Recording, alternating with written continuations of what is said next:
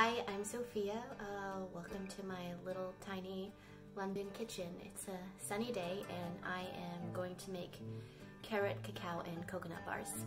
Uh, you can see all my ingredients here.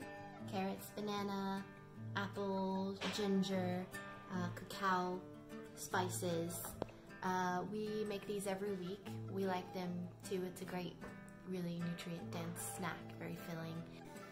So I've just done the apples and carrots and I just get them into kind of a small texture.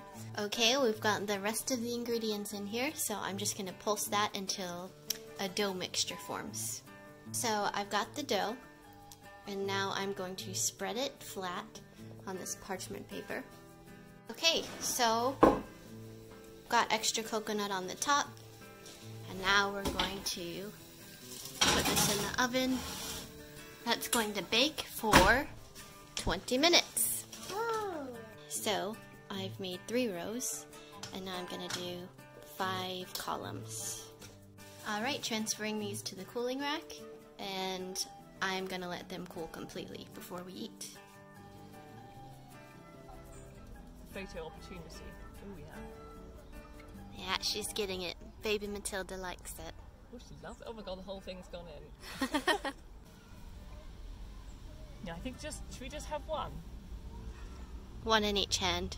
Perfect. Double part.